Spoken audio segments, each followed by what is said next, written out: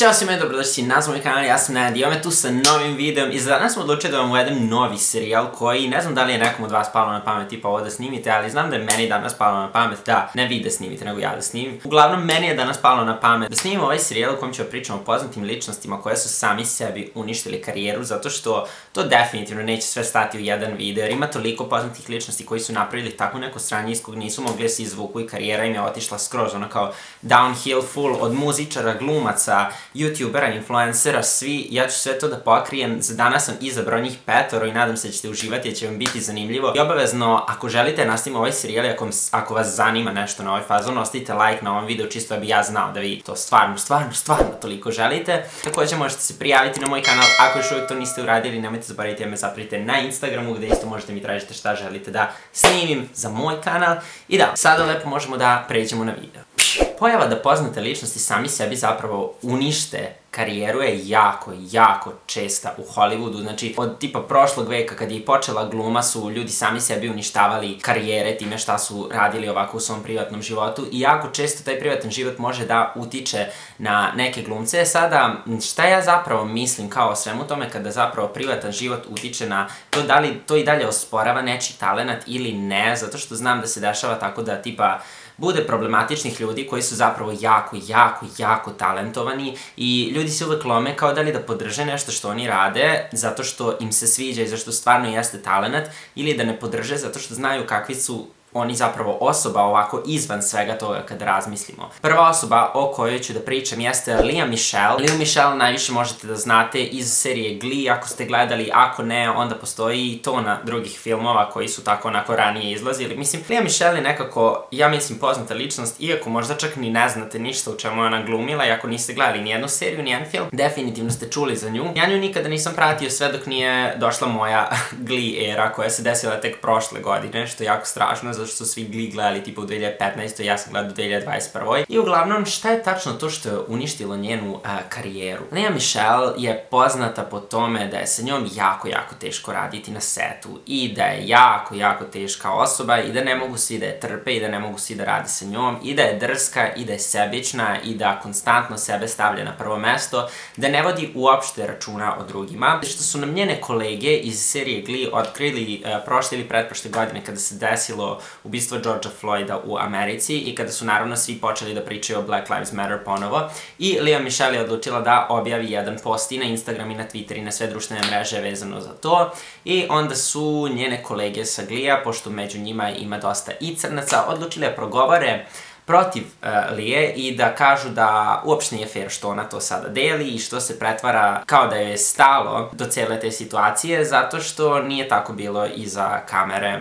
kada su snimali Glee, zato što se odvrtno ponašala prema njima, zato što je bacala rasističke komentare. Pogotovo, kao, kao njih je naj, najodvratnije od svih tretirala. Od tada nikome više nije svejedno uh, da kaže da gotivi ili u Michelle. Ja nisam ništa nje neki ogroman fan, ni, nikad ni bio, niti išta. Znam je i Scream Queen sam je gledao, gledao sam Glee i to je sve uglavnom, tako da niti podržavam, niti nešto hejtujem, ali ako je tako cijelo iskustvo bilo, to definitivno ne treba tek tako samo ona koja se ostavi po strani. To je dosta uticalo na njene neke druge saradnje koje je imala i pošto je u tom periodu ona bila trudna, bukvalno su je svi onako odbacili što je trebala da radi saradnja sa njima, neki razni magazini, razne kompanije, firme, niko više nije želeo radi sa njom. I nekako ono što nisam pomenuo jeste njen najveći san od malena koji je bio, što se bukvalno provlači kroz ceo, ceo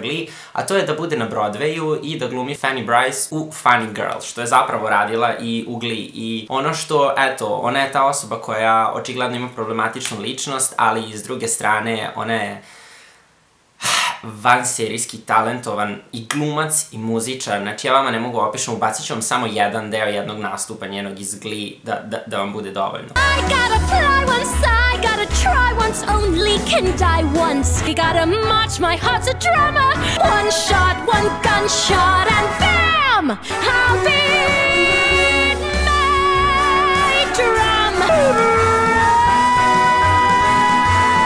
I svi su očekivali da ona nikada neće dobiti nikakvu ulogu na Broadwayu, baš zbog svega toga što se dešava, ali evo sada, bukvalno danas, kako sam ušao na Twitter, mi je iskočila vest da je uh, napokon dobila ulogu Fanny Bryce u Funny Girl na Broadwayu i ne znam da li je to zaslužila zbog svih tih stvari koje je radila, ali sa druge strane svojim talentom definitivno jeste zaslužila. Tako da ona je onako do neke granice svoju karijeru uh, sjevala i uništila time kako se ponašala i kako je tretirala druge ljude na setu i zbog nje niko nije smeo bukvalno ništa ni da zameri zato što Ryan Murphy je nju obožavao i gurao je sve vreme, ona je bila glavni lik u gliju. Nekako se iz toga izvukla, što je jako redko za poznate ličnosti, jer oni ako propadnu, to baš, baš teško naprave neki dobar comeback, ali eto, ona se valjda povukla skroz iz tog javnog života i sada kada je napokon dobila tu ulogu na Broadwayu, nekako se ponovo digla i mislim da je spasila svoju karijeru u tom smislu, ali i dalje nikada neće moći da obriše tu svoju reputaciju i da popravi e, mišljenje drugih ljudi o njoj. Druga osoba je Juicy Smollett, o kom sam pričao, ja mislim kada sam pričao o poznatim ličnostima koji su završili u zatvoru, on je jedan od glavnih glumaca u Empire prve tri sezone, tako. E sad ovo što se sa njim desilo, ja mislim jako strašno i jako jezivo, s obzirom na to da Juicy Smollett je crnac i uh, on je odlučio da dogovori nešto sa druga dva glumca, isto koje su glumile u Empire, neki jako nebitni likovi sa strane, koji su isto crnci, da oni kao navodno njega napadnu na ulici, da ga vežu, da e, se deru, da ga prozivaju i da ga prozivaju prvenstveno zato što je gej. On je njih platio 3500 dolara da oni to odrade i bio je kao nećete vi upasti ni u kakav problem, neće tu biti ništa loše, samo je želeo ja ne znam ni šta je on želeo, da li je želeo da podigne svest o tome šta se zapravo dešava u Americi, kako to može se desiti i poznatim ličnostima, ili je samo želeo da napravi takav skandal da bi se njegovo ime pročulo i da bi on napokon dobio neku veću karijeru, jer njegova jedina velika uloga je bila u Empire, ali to je njega onako, bukvalno ga je karma tako brzo stigla, da su na, preko nekih kamera uspeli da provale ko su zapravo ta dva lika i kada su provalili ko su ta dva lika, njih dvojica su ispričali celu priču, znači rekli su šta su radili i Juice Lucy onda više nije mogao da se izvući iz cijele te situacije. Otišla je toliko daleko da je on čak svršio i u zatvoru i mora je da plaća silne kazne, što mislim stvarno, kao on je fejkovao hate crime, on je bukvalno platio ljude da njega napadne, da se deru svašta, samo da bi to otišlo svuda po vestima. To je baš, baš, ja mislim, jedna mračna i strašna situacija koja ne pomaže nikome, ništa dobro nismo mogli izvučemo iz svega toga, tako da mislim da ono što je dobio i zaslužio. Nakon toga ga i Empire serija koja ga stvorila odbacila vratila, nije se više vratio nikada u tu seriju. Ne da neće sad više nikada dobijati uloge, nego ono, i kad izađe iz zatvora, ne znam da li i dalje u zatvoru, ali i kada izađe, i ako je izašao, to je to za njega, ja mislim da njemu više nema povratka. Da sam skontao da većina ljudi u ovom videu su glumci, zato što sledeća osoba jeste Lindsay Lohan, koju svi, ali svi znamo iz Mean Girls, jer ako niste gledali Mean Girls, ja stvarno ne želim da budem bezobrazan, ali ja vas ne želim na ovom kanalu. Bukvalno ne želim da me prate ljudi koji nisu gledali Mean Girls, jer je to jedan od naj-iconic filmova u cijeloj pop kulturi. Da nema, znači nema ništa iznad toga. To nije najbolji film, ne kažem da je najbolji, ali jedan od naj-iconic momenta koji postoje u pop kulturi. A ono što ja pokrivam na ovom kanalu jeste pop kultura, tako da...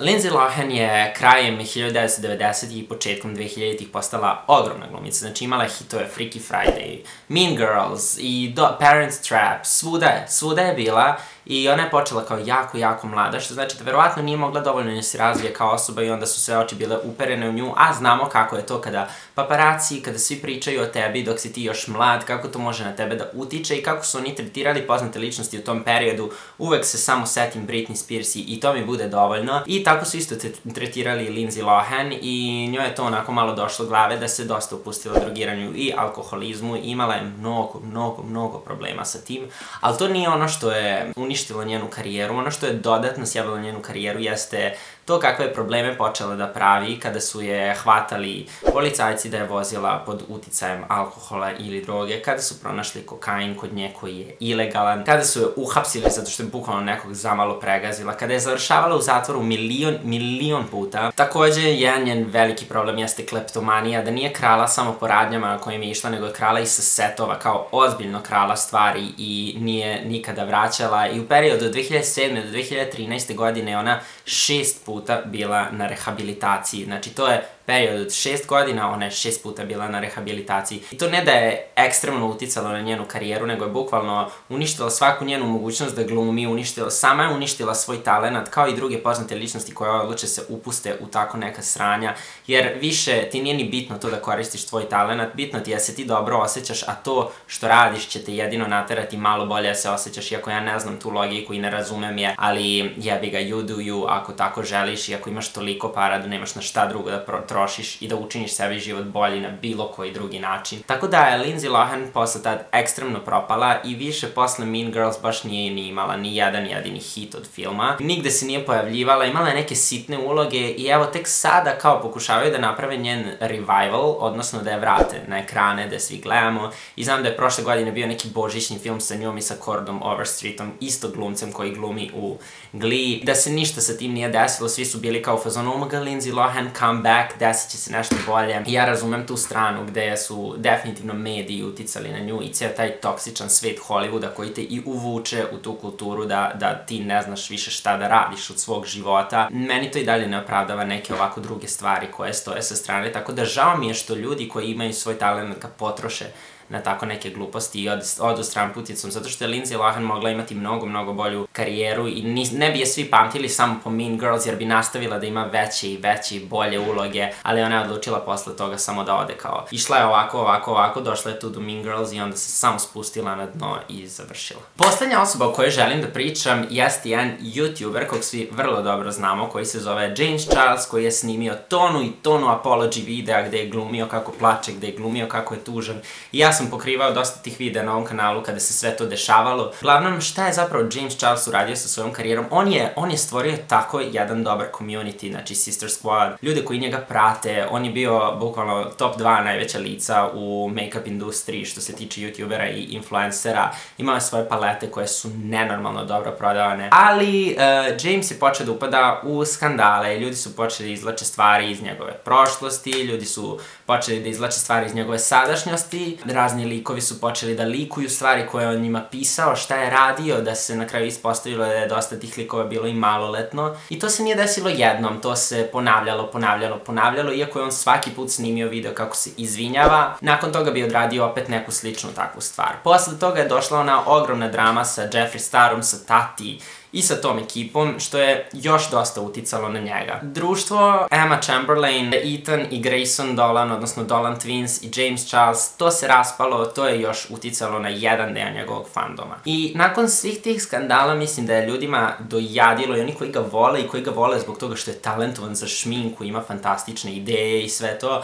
ljudima je dojadilo da sve to kao onako izvlače nekako na površinu i da ostavljaju te njegove probleme dole i jednostavno su odustali od toga da ga brane i samim tim su odustali od toga da ga prate, jer sada kada pogledamo njegov kanal vidimo koliko je propalo, takođe i sve njegove društvene mreže, vidimo koliko je propalo naspram nekada. Mislim da on i dalje na neki način može da vrati to što je nekada imao, odnosno tu neku slavu i popularnost koju je nekada imao, ali opet ne znam kako bi on to uradio. Mislim da to ne bi moglo bude skoro, može biti tek nakon jedno 5-6 godina, ali svakako definitivno se vidi kakav je on downfall imao i koliko je sam uništio svoju karijeru. Da li je to zbog toga što nije mogao bukvalno se skloni od tih maloletnih likova i kao eto koliko te tvoja, tvoja glava i, i, i ono, tačnije, tad ne razmišljaš glavom, tad razmišljaš nečim drugim. Koliko te tvoje može uništiti James sjebao sve, a bio je jedan od najvećih youtubera. To je to za ovaj video. Ja se nadam iskreno da vam je bilo zanimljivo, pošto meni, meni stvarno jeste, ja želim da snimim i ostale videe ovoga, a vi isto ako to želite, obavezno ostite like, čisto da znam, zato što ja stvarno ne znam šta vi mislite dok vi meni ne kažete šta vi mislite. Nadam se da ste uživali, prijavite se na moj kanal ako još uvijek niste, ovdje imate najnovi video na mom kanalu, a ovdje imate playlistu sa ostalim celebrity videima gde pričam ovako o njihovim dramama, mnogo onako detaljnije o svemu šta se dešavalo. Neke ove situacije sam već pominjao, to kao što sam rekao kad sam snimao ljudima koji su završili u zatvoru. Tako da ako uđete na tu playlistu nikad nećete izaći odatle jer je jako zanimljivo, verujte mi, a mi se onda vrlo brzo vidimo u sledećem videu. Ćao!